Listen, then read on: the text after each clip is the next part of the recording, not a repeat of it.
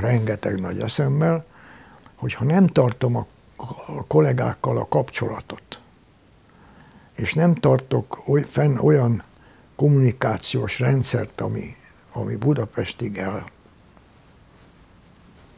megy, eljut, és nem informálódok azonnal, akkor ebből baj lesz, mert ebből egy bezárkózás lesz, ami izolációhoz vezet.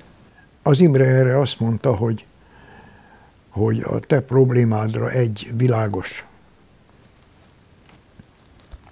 hogy mondjam, megoldás? tennivaló megoldás van, antropozófiával kell foglalkozni. Két emberről van szó, a Kálmán Istvánról és a Makovec Imréről. Utólag már tudom, hogy ők ebben az időszakban valamennyi antropozófussal, aki Budapesten élt, közvetlen kontaktusban voltak, és évekig tanultak náluk. Hát azt kérdezték tőlem, hogy én inkább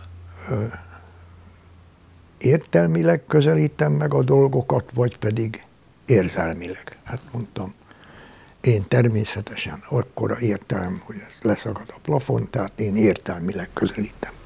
Na, ekkor kezembe adtak egy könyvet, aminek az volt a címe, hogy a szabadság filozófiája, filozófia de Freiheit. Jó néhány hónap után jeleztem, hogy végeztem a könyvvel.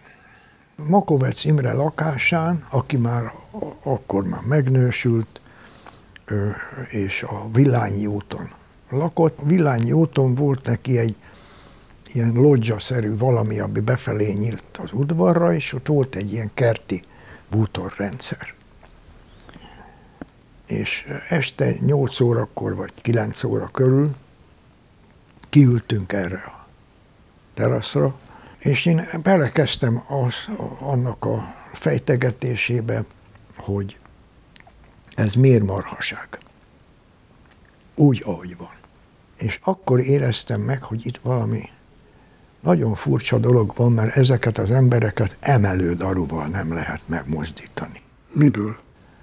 Saját magukból.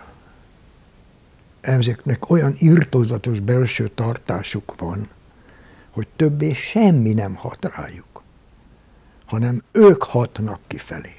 Mi adja ezt az erőt? Az antropozófia. Ez egy olyan szemléletmód, ami tökéletesen eltér a mindennapi szemléletmódunktól. Az egész világ összes jelenségét ez a szemléletmód lényszerűségnek fogja fel. Ez is az. Az is az. Tehát ez azt jelenti, hogy mindegyik, ami bennünket körülvesz, és ami bennünk van, azt kérem tisztelettel mind individuális lények halmaza. Vagy élő, vagy halott lényeké. És a dolognak az a beleje, hogy ilyen formán egy ház sem egy tárgy, hanem egy lény, amit mi hozunk létre. Óriási különbség az, hogy én mondjuk egy várost tárgyaknak tekintek, vagy például üzeneteknek tekintek. Elődeink, nagyapáink, apáink, nem tudom kicsodáknak az üzenetének. És innentől kezdve ezek nem egyszerűen tárgyak, amiket le lehet bontani könnyedén, és könnyedén el lehet tűnni, egész más viszonyrendszer alakult ki, alakul ki az ember és a környezetek között.